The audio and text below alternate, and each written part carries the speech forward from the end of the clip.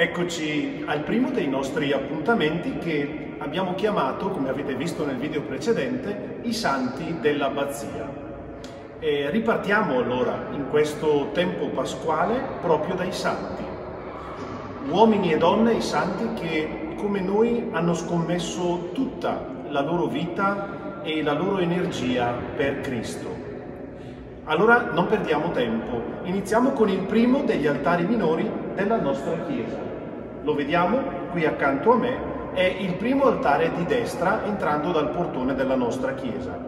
Questo primo altare è dedicato a Sant'Antonio di Padova.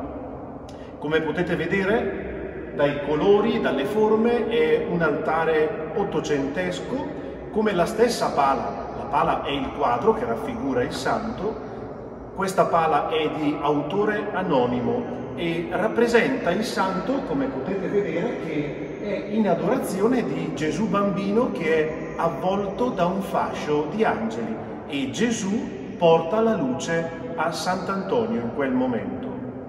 Tante volte noi troviamo Sant'Antonio mentre porta in braccio il bambino e questo perché? Perché ricorda una sua visione particolare che lui ha avuto durante la sua vita. E non solo, lo vediamo eh, vestito degli abiti francescani perché sappiamo che Sant'Antonio diverrà poi francescano, conobbe San Francesco e non seppe resistere a questa vocazione francescana. Di Sant'Antonio sappiamo tantissime cose, la sua vita è ricchissima, dovremmo fare video di centinaia di ore per raccontare la sua vita. Dicevo, di lui sappiamo che è nato nel 1195 a Lisbona, in Portogallo. Entrò prima a far parte dei canonici regolari agostiniani e compì gli studi a Coimbra. Un grande studioso, Sant'Antonio, appassionato dello studio, appassionato della parola di Dio. E dopo il martirio di cinque missionari francescani eh, in Marocco, perché dobbiamo sapere che Sant'Antonio girò tantissimo eh, il mondo come missionario. Eh, dicevo, di fronte a questa uccisione di cinque martiri, eh, rimase talmente impressionato che decise di passare all'ordine francescano, come vi ho detto prima, e si fece frate nel 1220. Cominciò addirittura a predicare in Africa, ma per ragioni di salute dovette rientrare in Italia. Poi fu inviato a Bologna come lettore in teologia. Insegnò a Montpellier, Francia, a Tolosa. In Francia dovette combattere addirittura contro un'eresia, l'eresia degli albigesi. Ma di questi ne parleremo più avanti incontrando un altro santo della nostra Chiesa.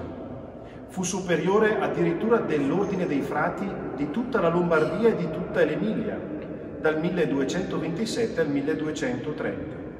Poi decise di fermarsi a Padova, ecco perché lo conosciamo come Sant'Antonio di Padova. Perché decise di fermarsi a Padova?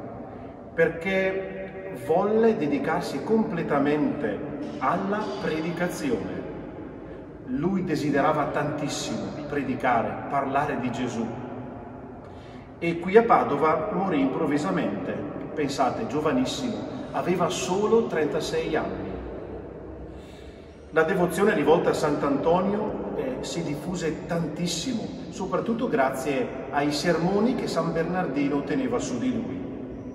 Pensate un po', fu talmente bravo a predicare, fu un ottimo predicatore, al punto tale che quando morì gli tagliarono la lingua e questa lingua la possiamo ancora trovare nella Basilica del Santo a Padova, dietro l'altare maggiore, là in una teca e possiamo vederla, possiamo contemplarla come oggetto particolare.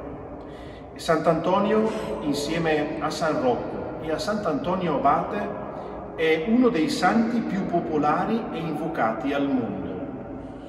E si festeggia il 13 di giugno e pensate di chi è protettore. È protettore degli orfani, dei prigionieri, dei naufraghi, delle donne sterili, dei bambini ammalati, dei vetrai.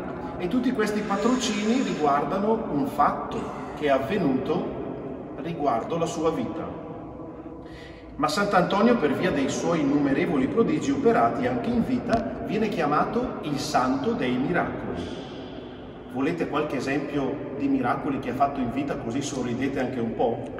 Aveva operato miracoli come profezie, esorcismi, guarigioni, compreso l'avergli attaccato una gamba, fece ritrovare il cuore di un avaro in uno scrigno. A una donna riattaccò i capelli che il marito geloso le aveva strappato. Rese innocui dei cibi avvelenati, predicò i pesci, costrinse una mula a ginocchiarsi davanti all'ostia poiché il proprietario della mula non credeva che Cristo fosse realmente presente nell'ostia consacrata. Fu visto in più luoghi contemporaneamente e da qualcuno proprio anche con Gesù bambino in braccio.